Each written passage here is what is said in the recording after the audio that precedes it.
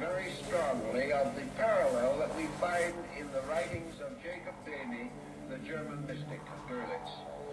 The shoemaker gives us a very interesting parallel of the relations between God and demon.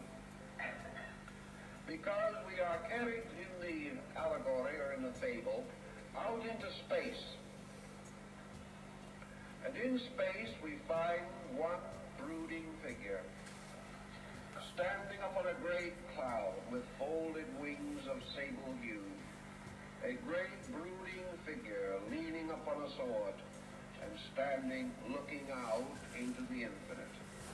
And this brooding figure is Satan. And this brooding figure is almost divine in its own right. For within it is not only the creative power of God, but the infinite courage and strength of the divine will. And this being has come out of the mysteries of outer space to stand before the throne of the Almighty and to offer itself as a vassal of God. And it stands there and it speaks. And it sends its voice out into the great mysterious darkness that lies about it.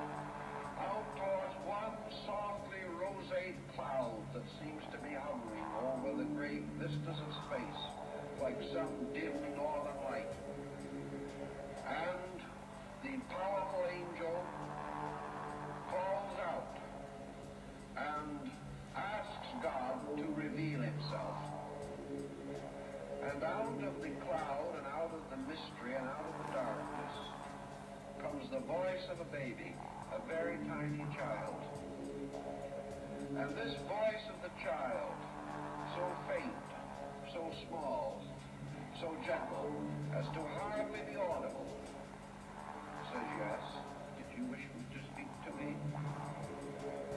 And in that moment, Satan is so completely shocked and so completely upon his sword and thinks, is this voice, this child voice, this voice alone in space, is this God? And if this, this is God, what can we expect of divinity? Here are all the clouds, the stars, and the cosmos. Are they to be managed and directed by a small child? Where is the glorious court of heaven? Where are the choirs of the angels and the archangels and the seraphs and the cherubim? Where are the principalities and the powers and the dominions? Nothing there but the voice of a child, speaking gently in the voice of love. And Satan says to himself, I guess I'd better do something about this. This is no way to run the this is the measure of things, I think I'd better take over. So in this moment, Satan rebels against the Lord. And in this moment, when in his mind comes the thought, I will take over, I will be the King of Kings of the world. In that instant, the heavens are shattered from edge to edge. The sky rolls back. The clouds break open. Mist and darkness and out of these rosy shadows, there bursts a light that strikes upon Satan with such a tremendous power that he is cast down upon his knees. And there suddenly before him, in all of its effulgent glory, is the God of might and the God of battles. The soft voice has disappeared, and now stands all the glory of the armies of the Lord under the psychopompus of the Archangel Michael. And here are the hosts of heaven in their golden armor, and an ineffable glory and an ineffable strength beyond all human understanding. And Satan cannot understand. He does not know what has happened.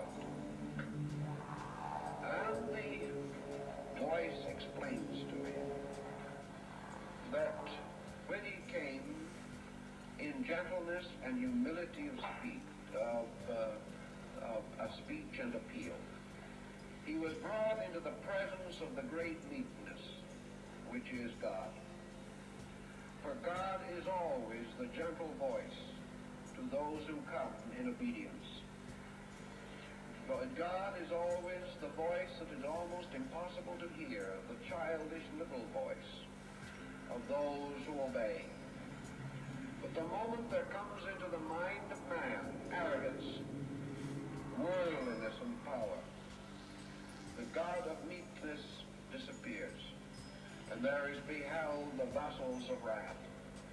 In that instant the sky opens, and the power of the heavens is revealed or is revealed in all its glory. Not because heaven has changed, but because rebellion has changed the sight of the one who beheld it. The glory was always there, the meek in heart see only the meekness, but the proud, the proud, behold only the wrath. And this was the battle between the divine mind and the mortal mind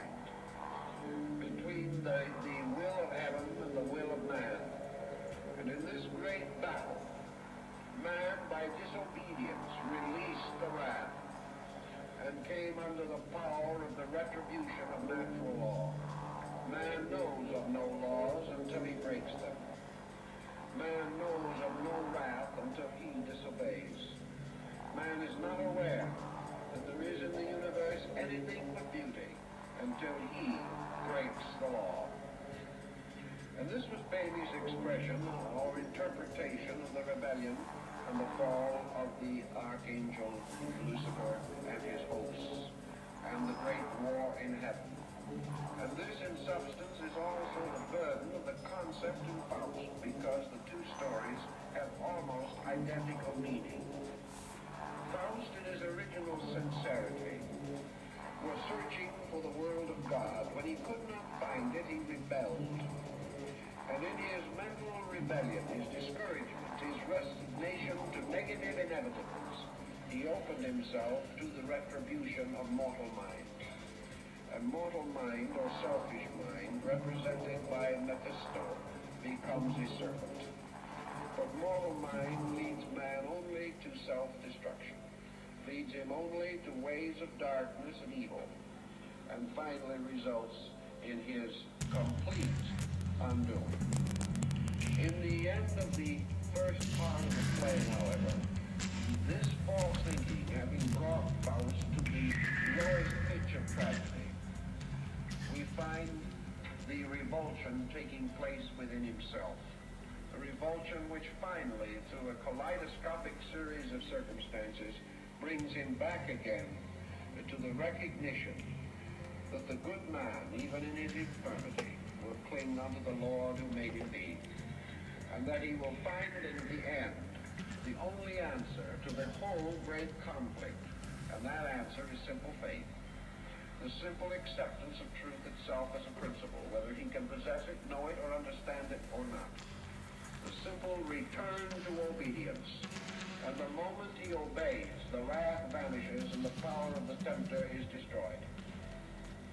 So by returning to the original destiny and the nature which was his proper place in the world, the entire mystery or story uh, is brought to its magnificent and dramatic conclusion.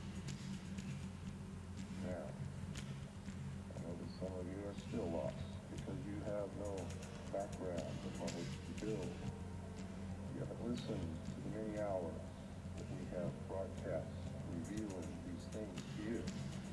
So I'm going to read from Volume 4 of the great work entitled Its Neophytes, written by Dr. R. Swinburne, Clymer, M.D. I will begin.